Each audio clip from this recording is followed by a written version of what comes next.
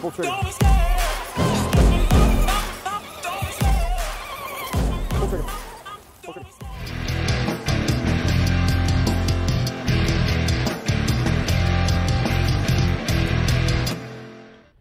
Welcome back to the channel, you guys. Welcome back. I got the Veles 29 and the Blackjack 24 on the block. All right. Uh, this will be a quick video. This is for the, the those of you who are new to RC boating. You know, you got an RC boat or a starter boat, one of your first boats. You're going to soup it up. You know, you're going to put a big motor, big big ESC in it. You want it to go fast. And uh, I got a cooling I got a cooling tip that will help you guys out, okay? And it actually makes your boat look pretty cool. All right, it looks cool. See the green and white there.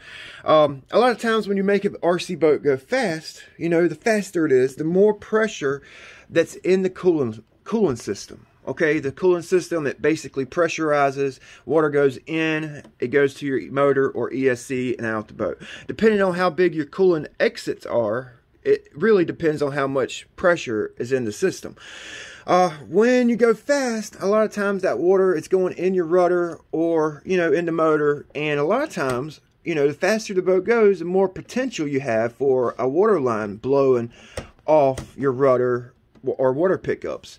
Okay, and that's all, it's all fine and good, you know, on the outside of the boat. You know what I'm saying? It, it, blows off. You just basically lose cooling for your motor or ESC.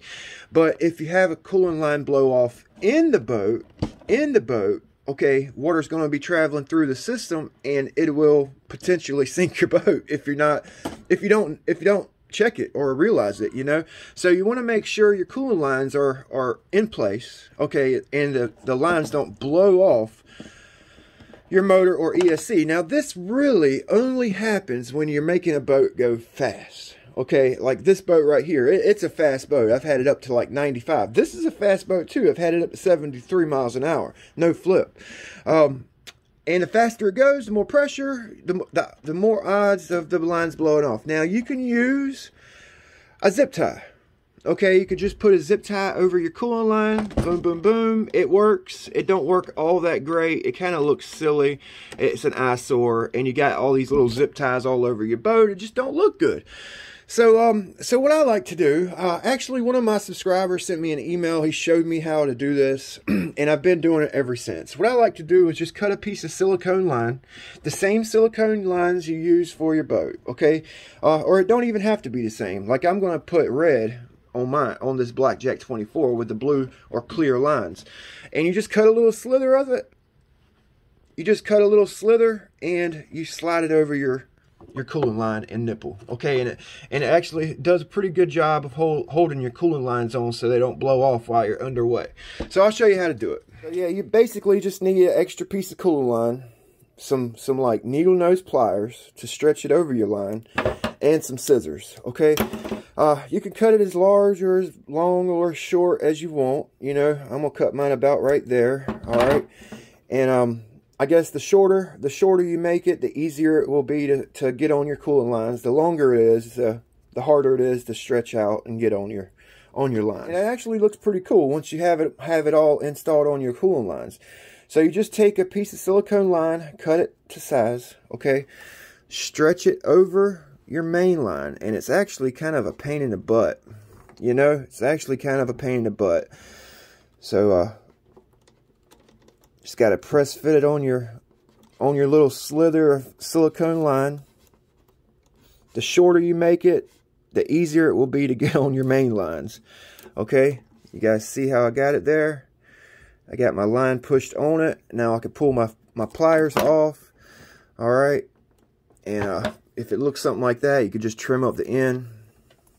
Okay. And then you just press it on your on your on your nipple. Okay.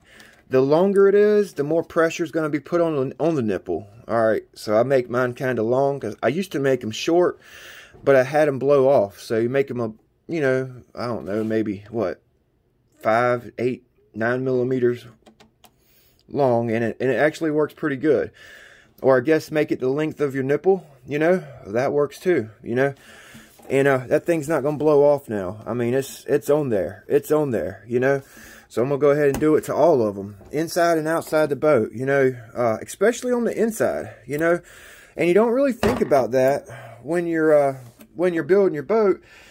You know, um, I run in like brackish water a lot of times because it's like the only large area of water I have. So I definitely don't want to take any chances of my cooling lines blowing off while I'm underway in the water, in that brackish salt water, you know? So, um, I've done this to all my boats, and I've actually showed you guys, I've actually showed you guys this in previous videos, but it's like halfway into like a 30 minute video, you know, and a lot of guys, they probably only watch like 30 seconds of my videos and then turn it to another channel. But, uh, I figured I'd just make a one video dedicated to to this modification because it's actually a pretty important mod, especially with these go fast boats.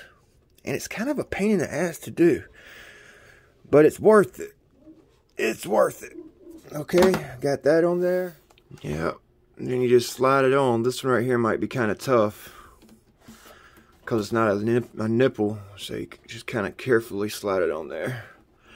And uh, you know, you can you can actually color coordinate your boat with this, you know, red on red, or like I did on my Veles, white and green to match the boat. Looks pretty cool.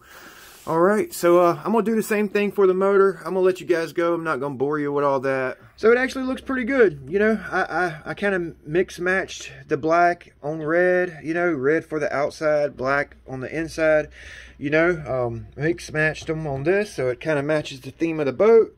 You know, it works. And this is like, you know, a lot of my regular subscribers, viewers, you guys know this already, but this is for the new boaters, the new guys out, you know, something to keep you busy, a little uh, personalize and accent your boat, plus it will actually save your boat from sinking, you know. So hopefully this helps you guys out. Big B with Ironclad RC.